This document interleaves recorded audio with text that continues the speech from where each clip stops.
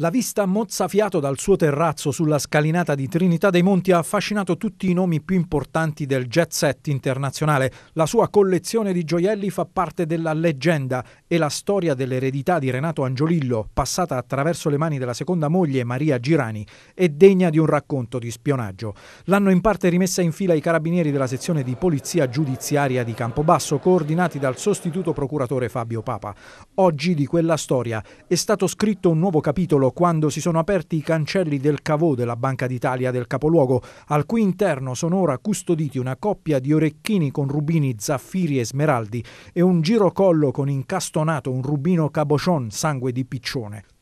Sono gli stessi che Maria Angiolillo indossa in questa foto insieme a Gianni Letta, storico direttore del Tempo, quotidiano fondato dal marito della regina dei salotti romani. I gioielli erano stati rintracciati a marzo nella casa di Monte Carlo di Oreste Bianchi Milella, figlio di primo letto di Maria Girani Angiolillo, il quale, secondo la ricostruzione degli inquirenti, avrebbe messo le mani su quello che viene considerato il tesoro Angiolillo, 23 pezzi da capogiro, la cui stima, effettuata nel 1970, superava i 6 milioni di franchi svizzeri, quasi 100 milioni di euro attuali. Le indagini erano partite nel 2010 dopo la denuncia alla Procura di Campobasso di Renato Junior, uno degli eredi del senatore Angiolillo, presentata dall'avvocato Luigi Iosa. I due gioielli rintracciati oggi in Italia hanno un valore di alcuni milioni di euro, briciole se raffrontati ai 39 milioni di dollari pagati da Christie's a New York da un anonimo acquirente entrato in possesso del Pink Diamond, un diamante rosa di 34,6 carati,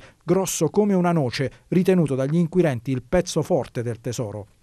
A portare gli investigatori di Campobasso nel Principato di Monaco a casa di Oreste Bianchi Milella e del faccendiere svizzero sono state le intercettazioni telefoniche che potrebbero essere la base su cui poggia tutta l'inchiesta. Un colpo da 90 messo a segno dai carabinieri della giudiziaria e dal sostituto Papa che come segugi hanno percorso tutta la pista fino a trovare, è proprio il caso di dirlo, lo scrigno coi gioielli. Ora le indagini hanno avuto la svolta decisiva e il caso, una vera e propria spy story internazionale, potrebbe essere chiuso entro poche settimane.